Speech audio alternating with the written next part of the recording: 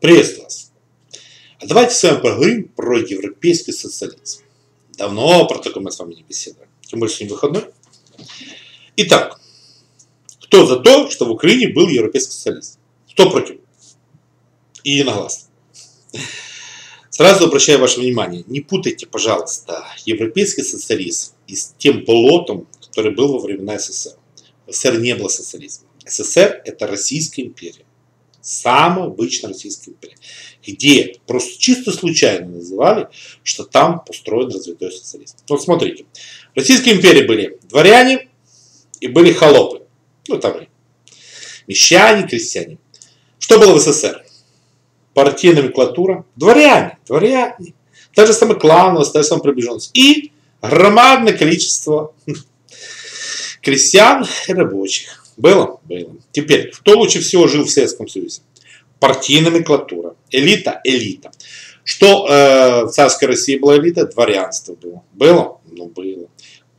Погубила Российскую империю кто? Правильно, дворянство. Ну, действительно, надо было его трансформировать. Ну, делать буржуазию, если это пошло. Что погубило Советский Союз? То же самое дворянство, партийная клатура. Ну, вот, вы уже забыли, но в 80-х, э, очень много про это говорили, 90-е, там, ну, потому что это погубило. Еще раз повторяю, в Советском Союзе никакого социализма отродясь не было. Там была обычно Российская империя. Царь, ну, первый генеральный секретарь, дворяне, партийная клатура и все нищие, холопы, которые работают, чтобы царю хорошо жилось. Ну и партийной клатуре тоже. Было? Было. А теперь давайте поговорим про европейское социализм. Ну, смотрите, если кому-то интересно, есть такой социнтерн, может, знаете, можете почитать. Э, можете почитать документы компар... Э, Господи, не извиняюсь, компартии уже нет. Хотя еврокоммунизм тоже, ну, там он немножко такой уже ох, развалился. Социалистов Франции можете почитать, если интересно. Нет, это все есть. Ну, вообще почитайте. Вообще э, таких документов очень много. Э, да, они чаще всего, конечно, не на нашем языке, но при желании можно себя перевести, почитать. Довольно-таки интересно. И совершенно не то, что вы думаете. Ну, вот классика. У нас говорит, европейский социализм это Швеция. Нет! Швеция это государственный капитализм. Это не европейский социализм, честное слово, не шучу. Вот если вы почитаете какие-нибудь ну, работы социалистов, они говорят, нет, в Швеции нет социализма, там государственный капитализм, не путайте. Ну, здесь я скажу так, французы говорят, что не социализм, э, там, Э, испанцы там про себя рассказывают, и ну давайте так, вот я свое мнение выскажу. Я считаю, что европейский социализм, европейский социализм э, реализовался в Германии. Ну, лично мое мнение. Хотя, э, есть, я так понимаю, мне сказать, да нет, это трудясь. Но ну, давайте немножко разберемся по этапу. Итак, европейские социалисты э, однозначно выступают за то, что право собственности это священно. В СССР что было? Все отобрать, поделить. Ну, поняли, что это не социализм. Там право собственности священно. Плюс ко всему, европейские социалисты, если кто-то внимательно обратил, да, они выступают такой лозунг, что э, крупный бизнес должен существовать однозначно, но они не так говорят. Они говорят, что все виды бизнеса должны иметь равные условия. За. Вот только за. Вот, честно говоря, по этой причине, когда говорю ликвидировать упрощенную систему налогообложения, это чисто по европейскому социализму. Я не шучу. Но здесь, конечно, надо немножко дополнить, что вот те же европейские социалисты говорят, что надо не допускать монополию. Почему я говорю, Швеция это не социалист. Швеция это государственная монополия. Там просто во главе стоит государственная монополия. И по этой причине на сегодняшний момент считается, что бизнес должен иметь равные права. Еще раз повторяю. Никаких льгот, никаких преференций налогов быть. Но действительно антимонопольные комитеты должны работать свирепо. Это факт. У нас это не работает. В идеальном варианте, да, крупный бизнес должен быть. Его, его надо поддерживать, не бежать. Но вот антимонопольный комитет должен не зависеть ни от администрации президента, ни от Кабмина. Он действительно должен быть независим. Тогда, чтобы он прижимал монополистов. Потому что у нас беда в чем? У нас нет противоядия монополии. Факт, факт. Это губит экономику Украины очень сильно.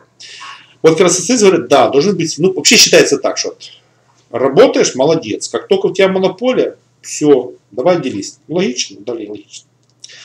Что еще самое интересное, я думаю, это многие, наверное, удивляются, но это факт. Вот смотрите, как у нас всегда начинают рассказывать. Вот, э, там социализм в Европе, или, или даже, скажем, в Европе, там ура, ура, высокие социальные выплаты, высокие налоги. Стоп. Опять же говорю, это вы говорите про Швецию, про Данию. Там нет социализма, еще раз повторяю. Смотрите, в чем трюк. С точки зрения, ну, скажем, таких настоящих или полунастоящих социалистов, считается так, что через э, госбюджет должно перераспределяться не больше 30% ВВП. Ну, да, бюджет должен быть, никто не спорит, но не больше 30%. В Украине почти 40, в Швеции 60, ну, чтобы вы поняли разницу. Поняли? Что значит перераспределяться? Это значит, ну, смотрите, госбюджет собирает много, а потом выплачивает много. Ну, вот собирает много, потом выплачивает там пособие. Вот я считаю, что да, действительно, даже меньше 30. В чем логика? Сейчас объясню.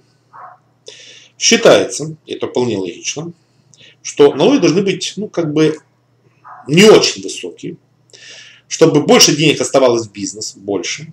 А государство, собирая деньги, финансировали только тех, которые действительно социально не защищены. Кто? Инвалиды. Логично, логично. Ну, может быть, э, мамы с детьми, ну, опять же, в зависимости. И все. Скажете, где пенсионеры? А вот понимаете, в чем дело? Если мы говорим европейский социализм, они, вот все их документы, это средний класс, средний класс, средний класс. Понимаете, они не э, рассматривают пенсионеров как что-то такое социально слабое. Они считают так, что главная задача, да я считаю, любого нормальной страны, нормального правительства, это прежде всего развивать, заботиться, чтобы в стране был как можно больше среднего класса. А средний класс, пожалуйста, да, у него накапливается пенсия, нет вопросов. У него есть недвижимость, то же самое. У него есть сбережения.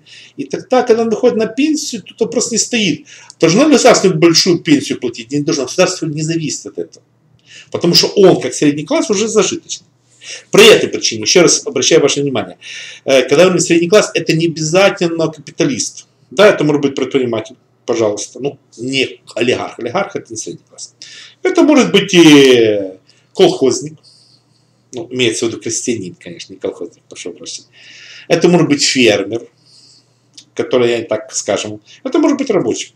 Средний класс подразумевается человек, который имеет, еще раз повторяю, достаточно сбережений, достаточный доход, чтобы, ну, скажем так, э, проводить такую зажиточную жизнь, не самого богатого, но зажиточную, ну, более-менее где-то ругать власть, как и положено, но не переживать про старость и не требовать от э, государства высокой пенсии. Вот что такое средний класс. Сложно. Да, архи сложно, конечно. Понятное дело, что в Украине сейчас мы видим республику олигархов. И в республике олигархов нет самого главного, среднего класса. И никто его делать не хочет. Ну, вот классика, смотрите. Вот в Украине вы никогда не слышите дискуссию или разговоры среди представителей власти про уровень безработицы. В европейских странах это действительно считается самая главная задача любого правительства. Почему? Объясняю. Правительство не должно вмешивать свой нос, где забрать, чтобы поделить. Нет, это не правительство. Не занимайтесь. Правительство не должно вообще-то даже очень переживать или заниматься вот этой минимальной зарплатой, пенсией. Это тоже не работает. Правительство должно заниматься только одним проблемой, чтобы в стране была маленькая безработица. 4% это минимум, а так не выше 7%. Вот это задача правительства. А для этого, пожалуйста, привлекайте инвестиции, создавайте технопарки, свободные клинические зоны. Это, вот это уже работает. Таргетирование можете инфляционно делать, все что угодно. Но ваша цель, безработица должна быть, я еще говорю, не ниже 4, не выше 7. Вот тогда будет и средний класс. Ну и про пенсии никто сгадывать не будет, и про тарифы никто сгадывать не будет. И вот это будет социализм, самый настоящий. Да, да, вот такой социализм. Правда странно. Олигархи есть, бегают, там э, какие-то фермеры есть, какие-то бизнесмены есть, и, ой боже, а, где же, а реформ нету, да? Вот такой.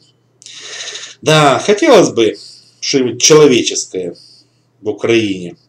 Даже если не социалиста, хотя бы что-то хотя бы. Но пока мы имеем республику олигархов. А республика олигархов – это свирепая вещь.